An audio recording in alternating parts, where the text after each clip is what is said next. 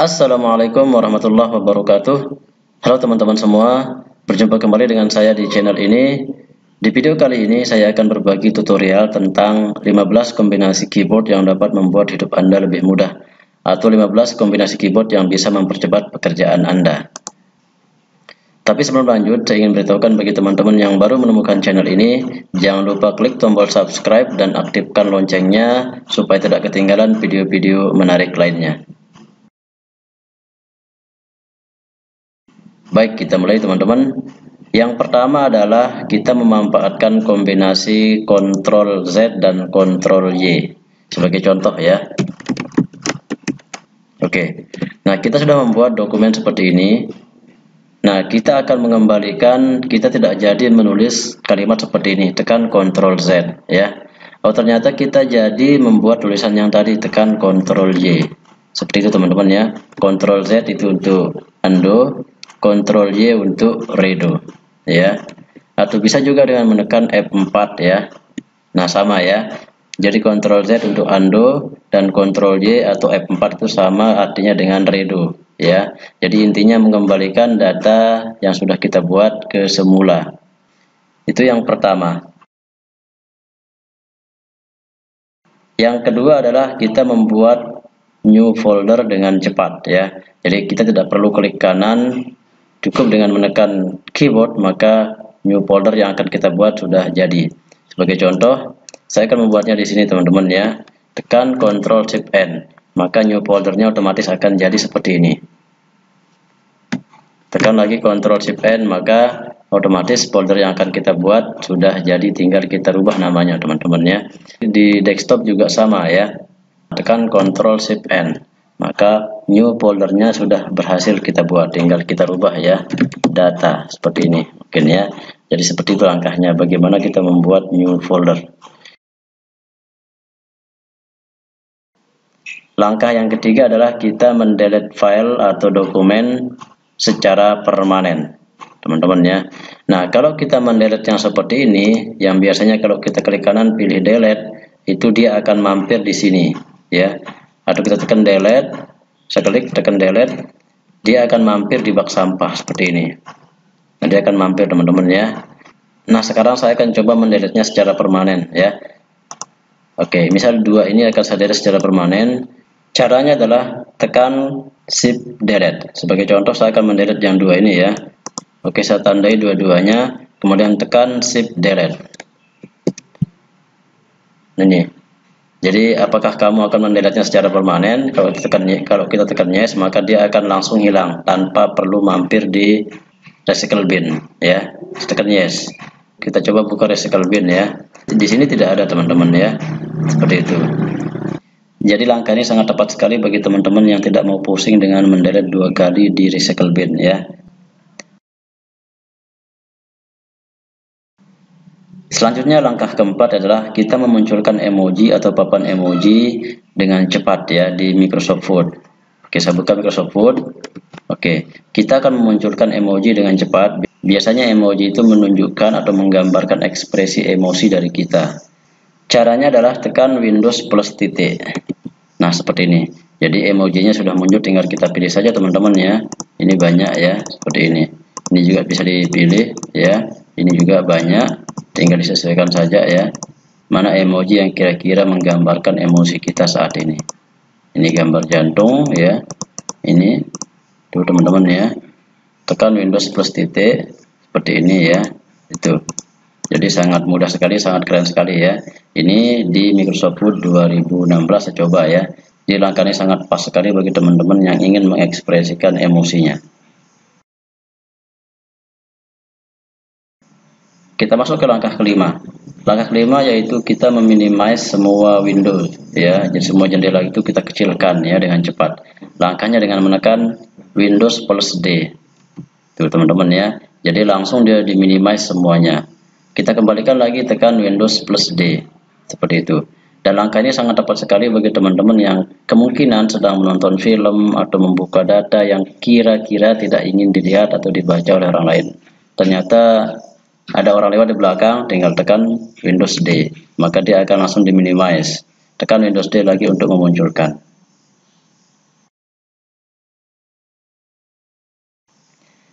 Selanjutnya kita masuk langkah ke-6.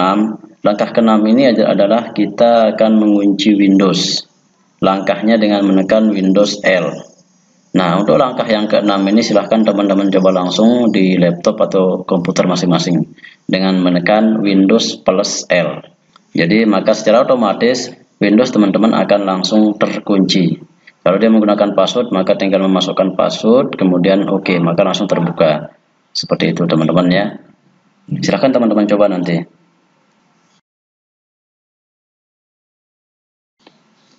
Langkah ketujuh adalah kita akan menambahkan layar virtual atau add Windows virtual. Dan ini sangat tepat sekali bagi teman-teman yang akan membuka beberapa window. Caranya adalah tekan Ctrl plus lambang Windows plus D. Saya coba ya. Ctrl Windows D.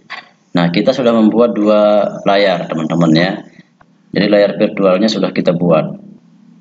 Nah, bagaimana menampilkan layar yang sudah kita buat? Caranya adalah yaitu dengan menekan Ctrl plus Windows plus panah kiri ataupun panah kanan.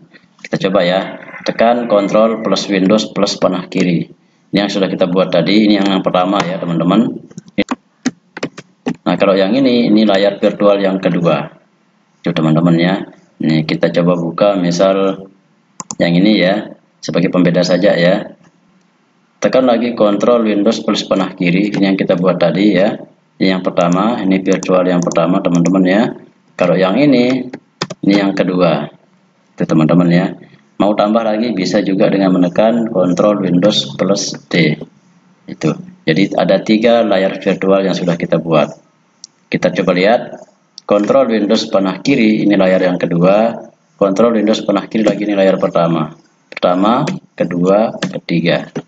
Seperti itu ya. Nah sekarang bagaimana cara kita menghapus layar virtual yang sudah kita buat? Caranya adalah dengan menekan Kontrol plus lambang Windows plus F4. Kita coba ya. Ini layar virtual yang ketiga ya. Kontrol Windows F4. Jadi yang ketiga sudah kita hapus. Sekarang kita coba hapus yang kedua tekan Ctrl plus Windows plus F4 jadi yang tersisa adalah tinggal satu layar virtual kita coba lihat tekan Ctrl Windows panah panah kanan tidak ada ya jadi hanya satu layar yang kita buat seperti itu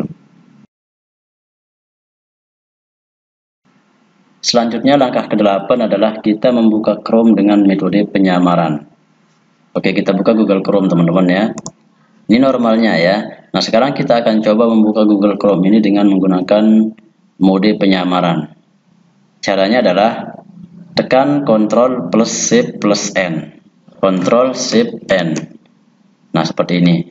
Jadi, kita membuka Google Chrome-nya atau kita akan mengakses internet dengan mode penyamaran. Oke, saya tutup. Jadi otomatis akan terbuka dua teman-temannya. Ini yang pertama aslinya, ini yang mode penyamaran.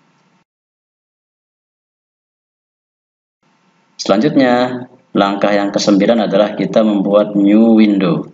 Caranya adalah dengan menekan Ctrl N. Nah, jadi kita membuat dua window ya, atau kita tambah lagi Ctrl N. Jadi kita membuat tiga layar. Ini pertama, ya, ini kedua, ini ketiga. Seperti itu ya. Oke, saya tutup lagi. Saya sisakan satu ya. Oke, kita masuk langkah yang ke-10, yaitu kita menambahkan new tab atau membuat tab baru dengan cepat. Langkahnya adalah dengan menekan Ctrl T. Ini ke satu tab, teman-teman ya. Kita akan tambahkan beberapa tab di sini. Oke, tekan Ctrl T, maka langsung terbuka di sini, ya. Tekan lagi Ctrl T. Iya. Ini ada 1 2 3 4 5 6. Jadi ada 6 tab yang terbuka. Seperti itu tinggal teman-teman buka di sini ya. Buka YouTube misal tinggal dibuka seperti ini. Tuh ya. Nah selanjutnya langkah ke 10 yaitu kita akan menghapus tab yang baru saja kita buat. Caranya adalah dengan menekan Ctrl F4 tekan Ctrl F4 maka tabnya akan terhapus. Tekan lagi tekan lagi tekan lagi tekan lagi jadi tersisa satu tab. Itu caranya adalah dengan menekan Ctrl plus F4. Kita masuk ke langkah 12 yaitu membuka tab baru atau new tab tanpa masuk ke tab tersebut ya. Misal saya mencari beberapa artikel ya. Sejarah bahasa Indonesia misal seperti ini. Nah, ini akan muncul beberapa artikel atau beberapa website teman-teman ya. Nah, kita akan membuka tab baru ya dengan klik tab ini, tetapi kita tidak akan masuk ke dalam tab tersebut. Nah, langkahnya adalah dengan menekan kontrol kemudian klik. Jadi akan terbuka tab berikutnya. Tekan lagi kontrol kemudian klik. Itu teman-teman ya. Jadi akan terbuka beberapa tab. Jadi yang kita buka adalah 1, 2, 3, 4, 5, 6. Jadi ada 6 yang kita buat, jadi ditambah dengan tab aslinya menjadi 7. Jadi ada 7 tab yang sudah kita buat. Ini akan muncul beberapa artikel yang kita buat. Seperti ini ya. Selanjutnya kita masuk ke kombinasi keyboard yang ke-13 yaitu kita membuka tab yang baru saja kita tutup.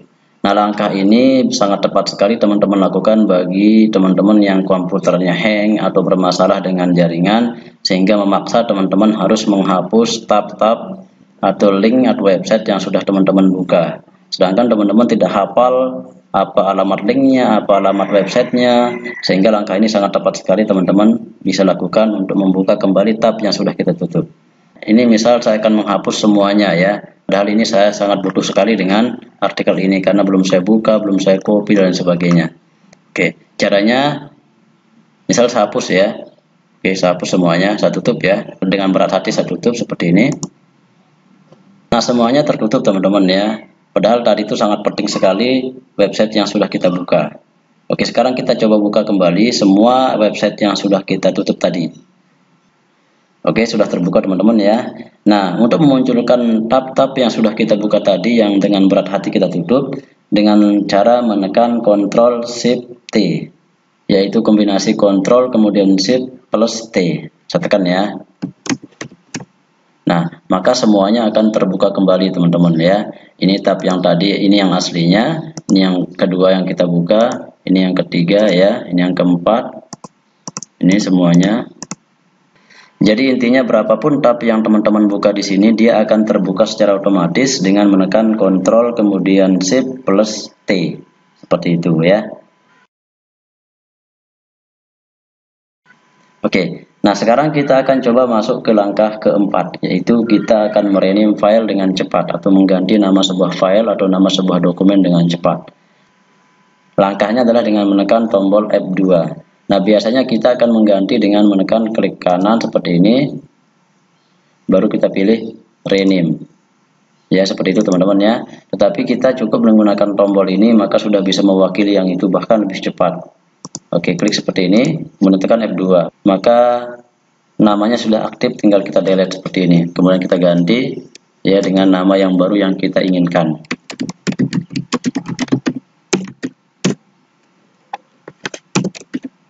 Oke, sebagai contoh ya. Ini juga bisa tekan F2 seperti ini.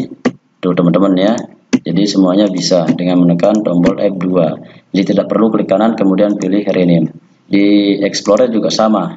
Juga bisa tekan F2 tekan F2 dan seterusnya. Jadi seperti itu langkahnya ya. Bagaimana kita merename file atau nama bagaimana kita merename nama file atau nama dokumen atau nama sebuah program dengan cepat dengan memanfaatkan tombol F2 langkah terakhir adalah kita mengaktifkan Task Manager atau to open Task Manager dengan dengan memanfaatkan Ctrl plus Shift plus Escape. Nah, kalau biasanya kita menekan Ctrl Alt Delete ya, tetapi itu akan muncul beberapa pilihan atau banyak pilihan. Tetapi dengan menekan Ctrl kemudian Shift plus Escape, maka akan langsung masuk ke Task Manager. Nah, seperti ini teman-teman ya. Jadi akan langsung masuk ke Task Manager. Kemudian tinggal kita hapus saja teman-teman ya, yang mana kira-kira mau kita hapus seperti itu. Saya kira cukup tutorialnya ya bagaimana kita mengkombinasikan 15 keyboard yang dapat membuat hidup hidup kita lebih mudah atau membuat pekerjaan kita menjadi lebih cepat. Dan saya beritahukan bagi teman-teman yang baru menemukan channel ini, jangan lupa klik tombol subscribe dan aktifkan loncengnya supaya tidak ketinggalan video-video menarik lainnya. Sekali lagi terima kasih, kita bertemu di video berikutnya. Wassalamualaikum warahmatullahi wabarakatuh.